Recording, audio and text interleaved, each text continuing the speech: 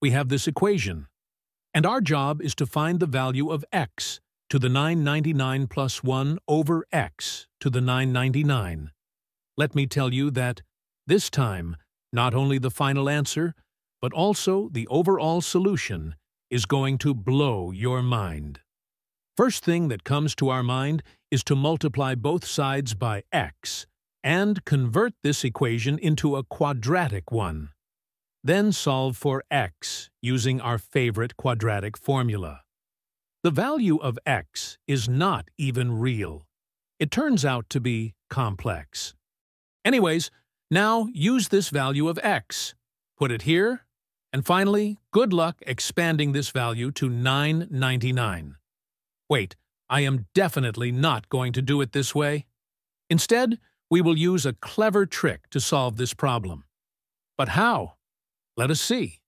As a first step, let us cube both sides of this equation. We will use this a plus b whole cube formula. Now, let us expand this equation. We get x cubed plus 1 over x cubed plus 3, x times 1 over x times x plus 1 over x, and this equals root 3 cube, or 3 root 3. This will get cancelled out, and we can put root 3 here instead of x plus 1 over x, to get this whole thing as x cube plus 1 over x cube plus 3 times root 3 equals 3 times root 3. This will also get cancelled out, and we get this thing as 0.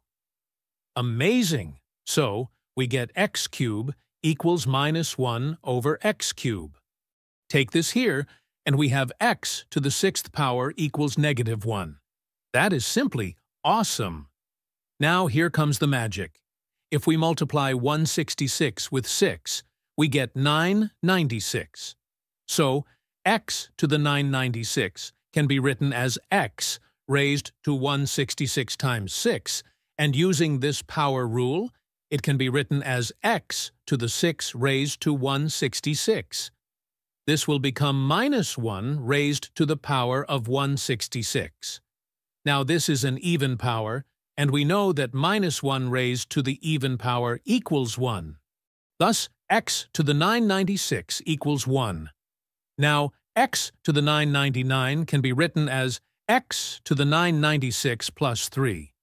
And this power rule gives us this as x to the 996 times x cube, and since this is 1, thus x to the 999 equals x cube. Thus this equation becomes x cubed plus 1 over x cubed, and we have already solved for that, which is equal to 0. Thus x to the 999 plus 1 over x to the 999 equals 0. I am literally in shock right now. This was an out-of-this-world problem. Now, if you have some idea about complex numbers, then we can write this x as cos and sine form. And using Euler's formula, we can convert it like this. Now, can you solve further using only this piece of information? Let me know in the comments if you can solve it this way, and I will give you a big heart. So good!